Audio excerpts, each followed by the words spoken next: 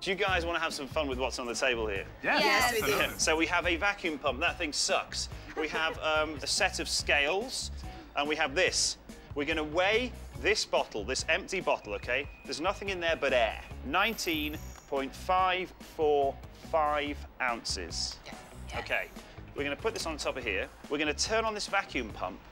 It's going to start sucking air out of that bottle, okay? So what I want to know is what is going to happen?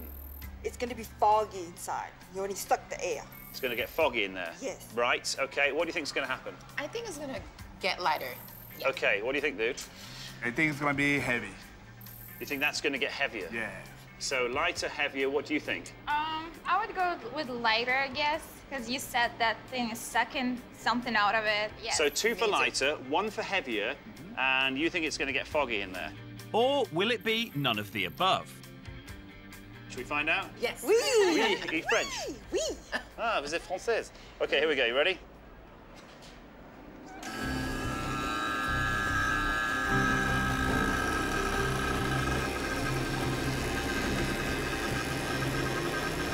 Okay.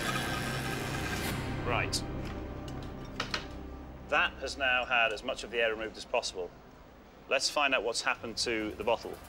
Initially, this bottle weighed just over 19.54 ounces. But now,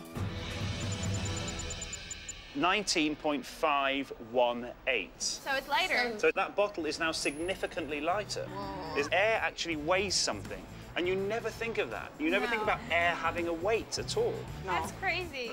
that air that you couldn't see weighed just over three quarters of a gram, the equivalent weight of about 50 houseflies. We are in nitrogen, we are in oxygen, we are in carbon dioxide, and a few other little bits and bobs, but mainly they are the main components of air, and it's a gas. But if we cool air right down, you get a liquid, and a liquid weighs something. So gas weighs something as well. Does that make sense? Amazing, isn't that super cool? Pretty good.